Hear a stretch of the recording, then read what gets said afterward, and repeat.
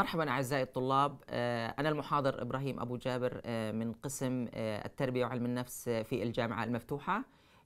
ندعوكم للتعلم معنا في هذا المساق المجاني بشكل حر عبر شبكة الإنترنت في موضوع علم النفس التربوي هذا الموضوع الذي سنناقش من خلاله الكثير من آه، النقاط آه، أو المواضيع مثل آه، الدافعية، نظريات التعلم، نظريات تطور التفكير بياجي فيغوتسكي، أيضا العوامل الاجتماعية داخل الصف، المجموعات، أنواع المجموعات، التماسك وغير ذلك، وكثير من المواضيع الأخرى المتعلقة بعلم النفس التربوي. كيف نتعلم في هذا المساق؟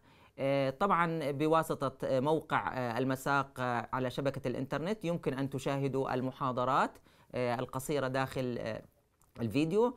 أيضا من خلال النقاشات التي ستكون داخل المنتدى.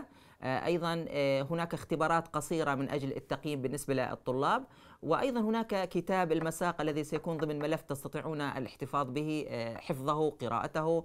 طبعا سيتم افتتاح الكورس في العاشر من فبراير 2015 وكل شخص مهتم في هذا الموضوع.